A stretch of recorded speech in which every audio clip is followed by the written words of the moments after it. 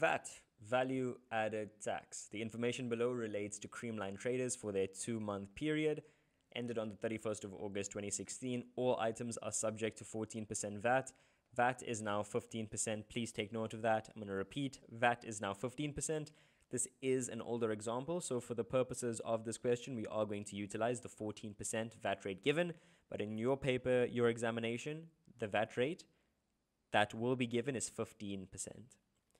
So calculate the amount receivable or the amount payable uh, to SARS for VAT on the 31st of August 2016.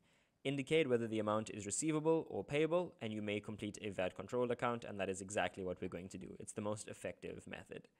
Okay, so I'm going to teach you guys a method, the SOCO method. This is a little uh, trick that I developed myself because I really battled with that. I can't lie to you when I was in grade 11 as well as in matric. Uh, it didn't really make sense to me.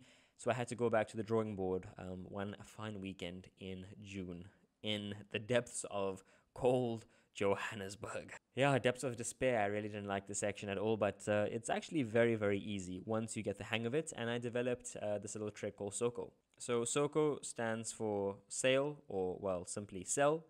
O stands for output. C stands for credit. And O, this is owed to SARS. So the opposite would be pedo, which is, yeah, probably uh, not the best abbreviation. Yeah, I know. I, sh- I should have thought this one through, huh? Okay, but uh, pedo stands for, well, this is going to be a sale. This is going to be a purchase. That's going to be input. That's going to be debit. So it's all the opposites. And this is going to be owed by SARS. So this is when SARS owe you. Okay, so let us have a look at the question and I'll show you how to utilize, how to work this kind of understanding. Okay, so this is our VAT control account. We need to calculate all the VAT amounts. We got to do three calculations. So first things first, merchandise paid or expenses paid. Our VAT amount here, it's the 225 minus the 198. And we're going to get 27,720. It was a purchase. So this would go on the debit side. So 27,720. Goods taken by owner for personal use. Now, it's not always clear as to how we should use SOCO, right? So we always need to go back to the root transaction. What happened initially? So goods taken by owner for personal use. Initially, guys, this was a purchase. We had to have purchased these goods. So first, it was on this side. It was here.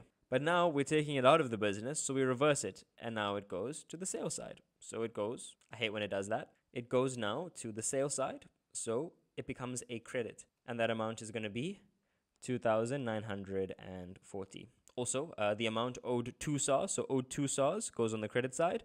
It's going to be 14,250. Let's just plug that one in quickly, quickly. Okay, next, we deal with the returns by debtors. Return by a debtor, that means there was the root transaction. The root transaction, there initially was a sale and this is a reversal of a sale. From 1120 on the credit side, that 1120 is now going to go onto the debit side. So 1120. Learn SOCO, but always go back to this idea of the root transaction. What happened initially? Next, uh, debtors accounts written off.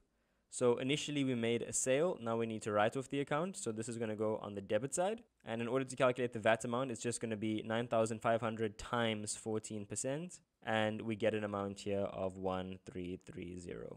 Total sales, so sales, this is definitely go going to go on the credit side. This is including VAT. So to get the VAT amount, we're going to say 332,880 times 14 over 114. Now remember, uh, if you get the included VAT amount in your paper, it's going to be times 15 over 115. And we get this amount of 40,880.